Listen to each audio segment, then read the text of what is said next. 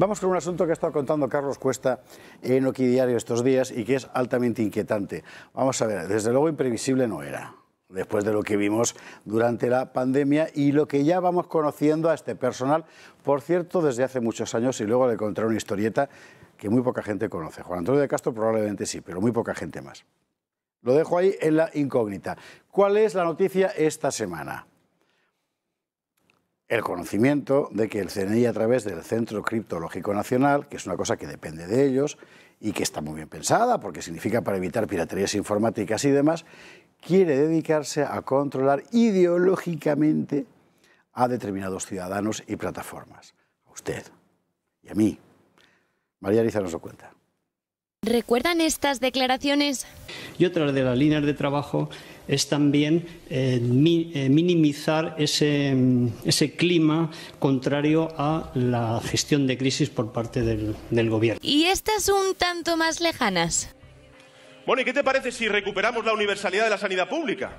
Bueno, fundamental, eso es importantísimo, recuperar la, la, universalidad de la sanidad pública. Pero, ¿qué te parece si controlamos a los espías y, y a los policías?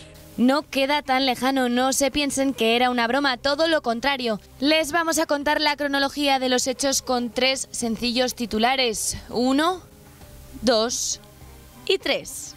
El Centro Criptológico Nacional, coordinado con el CNI, acaba de finalizar un informe sobre desinformación en el que califica de contrario a las instituciones democráticas y una amenaza directa toda crítica al globalismo. Vox es el principal partido que ha incluido este punto en su ideario. Todo el partido con Santiago Abascal a la cabeza ha defendido la posición contraria al globalismo, pero ahora los organismos de inteligencia lo tachan de una narrativa literalmente de naturaleza antisistema, contraria a las instituciones y que puede suponer poner una amenaza directa para la cohesión social, la estabilidad e incluso salud del país. El informe en cuestión lo ha desarrollado el Observatorio Digital ELISA y carga contra las tesis que critican el avance de unas élites globales que se superponen a los países. Pero Vox no es el único malparado del informe de ELISA, porque el CCN en coordinación con el CNI también ha lanzado el protocolo ELISA, un protocolo de actuación para investigar las plataformas digitales y canales de comunicación que divulguen noticias que erosionen la confianza de las instituciones públicas.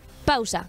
Recuerden. Eh, eh, minimizar ese, ese, clima contrario a la gestión de crisis por parte del, del gobierno. Eh, minimizar ese, ese, clima contrario a la gestión de crisis por parte del, del gobierno.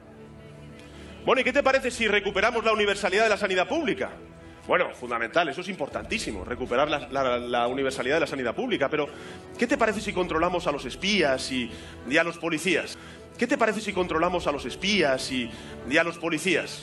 El plan de acción refleja a la perfección estas declaraciones de José Manuel Santiago, que pese a todo, el gobierno trató de relativizar pues debo decir que no, evidentemente, y que ha debido de ser, si es así, vuelvo a decir, si esas son las expresiones que ha proferido, un lapsus del general al contestar. Elisa le ha llevado la contraria a Marlaska y ha establecido los siguientes criterios para calificar la desinformación. Falta de transparencia u ocultación de la fuente, distribución recurrente y sistemática de noticias falsas, manipuladas o descontextualizadas, distribución recurrente y sistemática de narrativas basadas en erosionar la credibilidad de los pilares que sustentan el contrato social y la cohesión de Estado democrático, confianza en el pensamiento científico, en las instituciones públicas nacionales y en las multilaterales, confianza en el sistema económico y financiero o en los medios de comunicación tradicionales. Y respeto al pluralismo y la cohesión social de un país, criterios todos ellos muy arbitrarios como pueden observar. Derecho a la crítica, derecho a no revelar la fuente, libertad de expresión, no. Adiós a los derechos de los periodistas, adiós a los derechos de la gente porque Pablo Iglesias ha llegado al CNI.